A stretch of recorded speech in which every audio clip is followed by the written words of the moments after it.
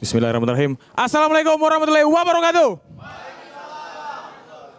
Perkenalkan teman-teman, aku Isan Ramadan dan aku dari Pekanbaru. Dari Pekanbaru ke Medan, aku naik travel. Dan di sebelah aku ada ibu-ibu Batak yang humble, bisa menghidupkan suasana gitu. Kondisinya mobil tuh nggak ada musiknya bang. Tiba-tiba dia teriak, oh sayangku, nggak ada musik kita nih. Supirnya panik bang karena emang rusak modulnya gitu. Tiba-tiba ibunya inisiatif.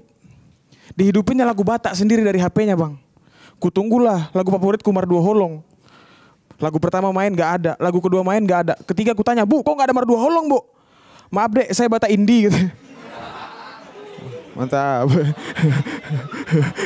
Mantap. Selain humble indie juga ya. Dan teman-teman, aku punya empat orang tua. Di sini ada yang orang tuanya empat?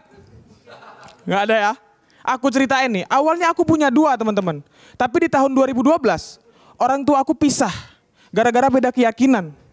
Ayah aku yakin dengan ramalan kiamat 2012. Mama aku enggak. Tapi yang jelas keluarga kami yang kiamat bang waktu itu.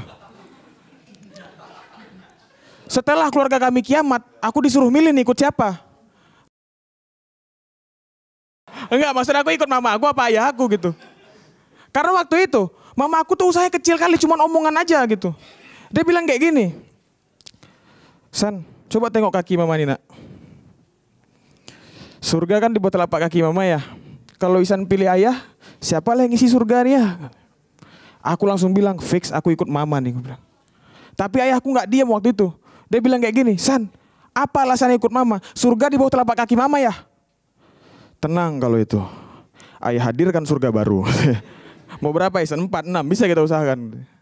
Akhirnya udah gitu. Aku akhirnya punya dua surga teman-teman.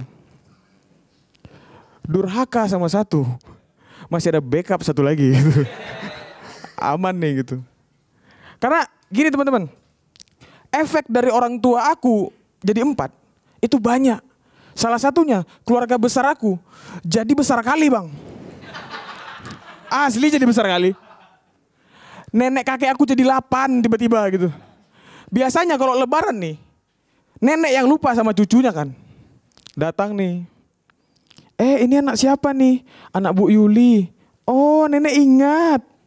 Kalau aku, aku yang lupa. Ini nenek yang mana nih? Datang gitu. Nek, ini nenek yang mana ya? Ini ibunya Bu Yuli. Dan teman-teman akhirnya ayahku nikah lagi. Oke, okay. terima, terima kasih bang.